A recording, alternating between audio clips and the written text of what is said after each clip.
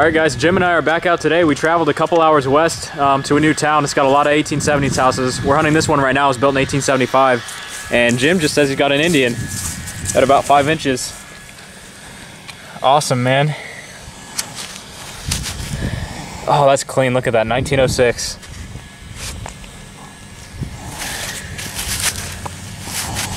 Beautiful, love the soil. Just cleans right off. It's the first house of the day too, so we'll keep going and see what else we can get. All right, so we're still going at this house. Jim and I found a couple wheat pennies since that last Indian, and I was going along the sidewalk here and I had a high tone. I was thinking I was digging a silver, and I just popped that out. It's an Indian, and look how clean it is. I mean, the dirt just fell right off of it. Oh, she's pretty. 1902.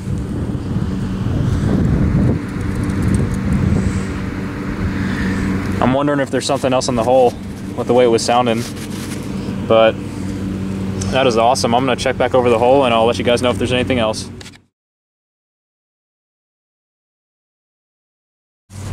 All right, Jim's calling me over. He says he got a nickel. He's thinking it's an older one. I think I got a V.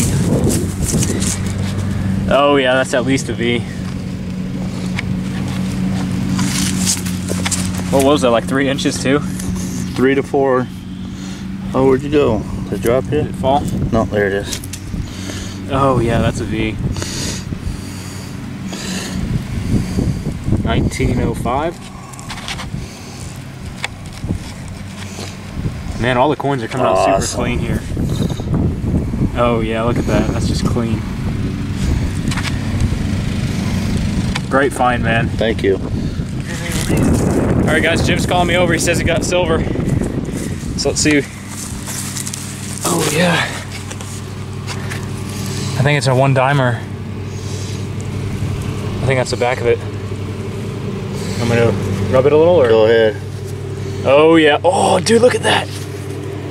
That's gotta be seated based off the, it's seated. See the design? Yes!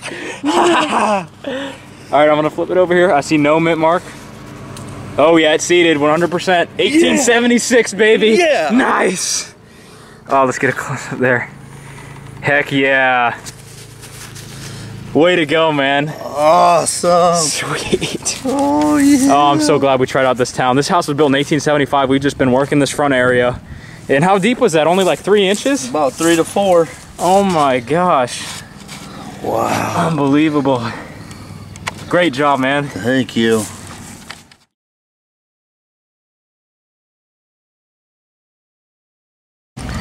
All right, just a little while later, the fines are starting to flow, uh, slow down for this house, but Jim just got a war nickel.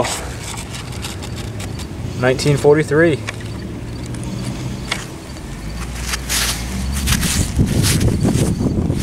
Awesome, man. Thank you. We'll keep going. All right, so it's been a little while since we were on the last property. Um, we just had trouble getting answers, and there's a lot of abandoned houses in town. But we just got onto this one. Um, it's a nice corner lot, and Jim's working way down here by this empty lot, and he said he's got an Indian.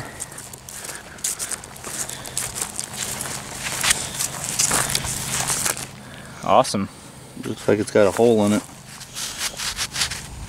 How deep was it? Four to three to four inches. I was just testing out the soil, see what's here. Yeah, it's got like a hole right over the date. So sweet find. Thank you. All right, so Jim and I moved on to this 1893 house, nice corner lot. Um, been going here about five minutes, and I got a 1909 wheat. Um, just had a high tone here, about four inches, and I got it out. And I see the silver dime there. So we're gonna pull it up here and see what we got. Merc. 44. Sweet. Awesome. I'm just glad I'm on the board now. We've been hunting all day. So we'll keep searching.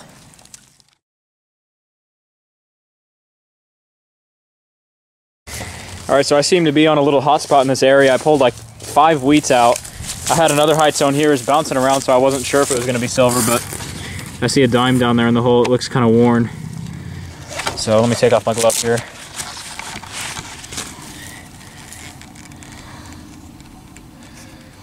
It's a worn Merc.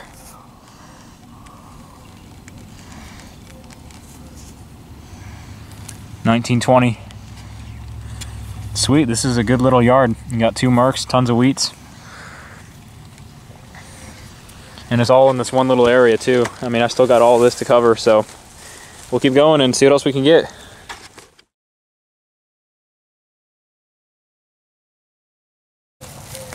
All right, so Jim's bottom feeding in my area. He's up in here.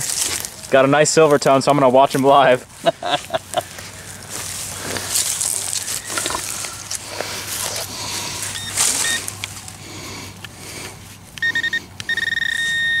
oh yeah, it's small too.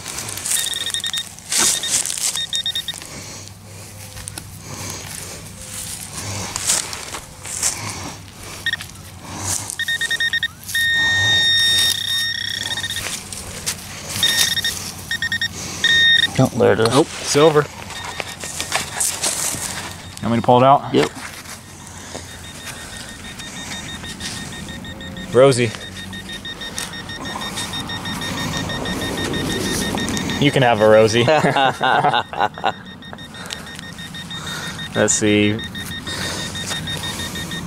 48, I think. Awesome find. Thanks. All right, this has turned out to be a nice little yard. Jim's saying he's got an Indian. Real choppy signal. Looks like 1902.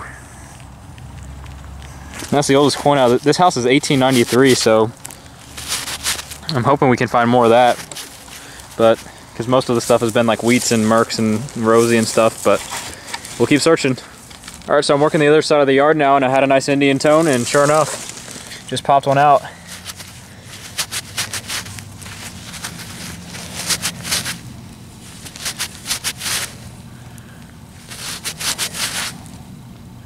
Looks like 1907.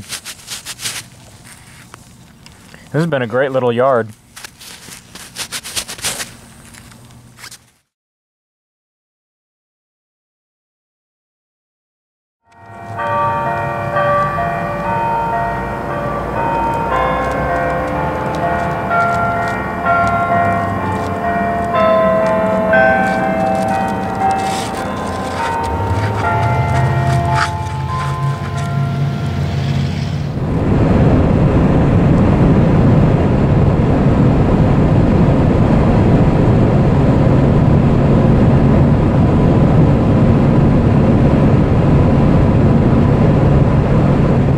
All right, guys, Jim and I are back out today in the same town. We got permission for several houses in town that are um, owned by the city. Um, this one was built in 1877. It's a huge lot.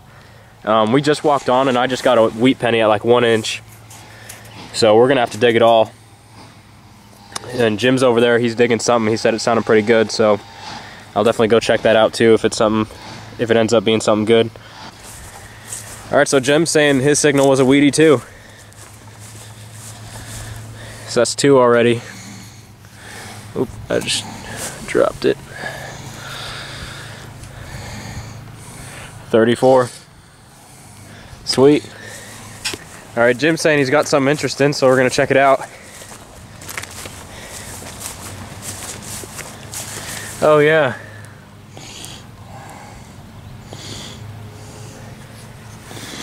Same on the back. Wonder what that'd be for. It says stoves and that's pretty cool. A little piece of advertising. All right, so Jim and I are on a new house now. We tried a lot of the city-owned properties and they weren't panning out. Um, so we're on this one now. Uh, Jim found a wheat so far and I just had a shallow high tone here. And I see a silver coin. So let's see what we got. Rosie.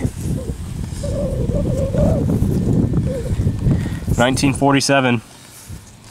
I'll take it though. It's been a pretty rough start, so. Go. Yeah. And we're right down the street from the 1875 house that Jim found that seated at last week, so we're hoping there's gonna be something old around here.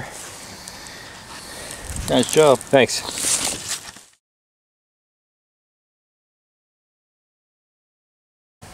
All right, so I went back over the hole and I was still getting a choppy high tone.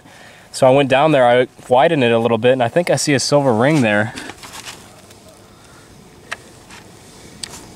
It's really weird. There must be a lot of iron in the area because the signal kind of went away. So it's pulled out. Yep. Nice little silver ring.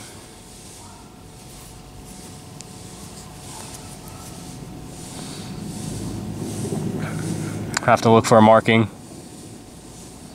But sweet. We'll keep going.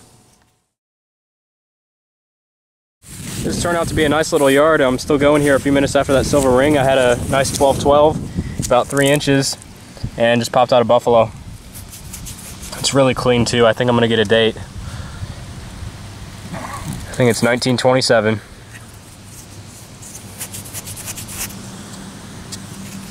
Awesome.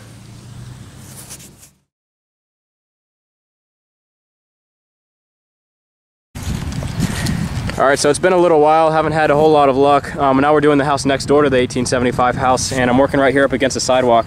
Had a really nice high tone. Um, it was mixing. I just pulled out a nail, and I kept going, and now I see a silver quarter, and it's looking like an SLQ.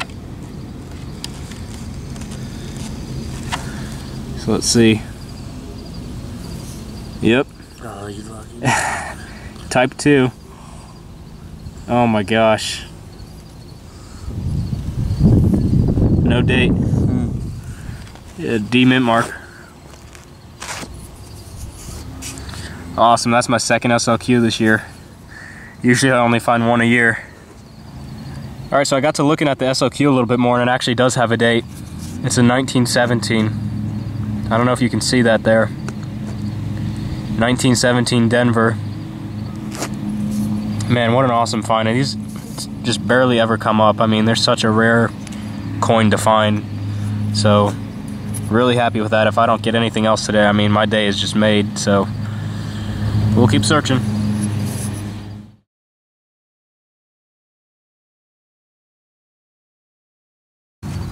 All right, I must be onto a little hot spot here because I just pulled the SLQ out right here. I came over, I had another high tone, it was scratchy just like the other one. And out pops a silver dime.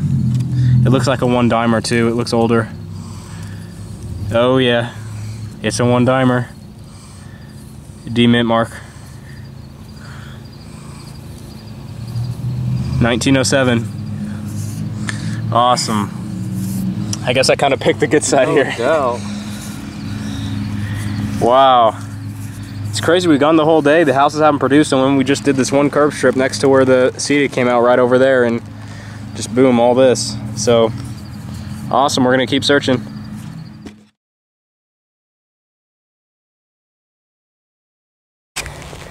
All right, so now Jim's hitting that section of curb strip where the SLQ and Barber Dime came out, and he's saying he found an eagle button. Oh wow, it's one of the World War One Great Seal buttons. It's a big one too. I think that's World War One. I. I mean, it could be World War Two, I guess, but awesome find, man. Thanks. All right, Jim's saying he finally got an Indian. He gave me the signal. So we did miss something in this curb strip. Must have gone over there so many times too. Oh, it looks worn. 1890. Beautiful condition. How deep was it? About seven. Great job, man. Thanks. All right, guys, so I'm working a new curb strip now. It's across the street from the 1875 house. Had a penny signal here. I mean, it was really shallow. I thought, didn't even think it was gonna be silver, but looks like I just popped out a worn dime. It's a Merc. Man, with how worn it was, I was hoping it was gonna be seated. But I will take that, 1925. All right, sweet.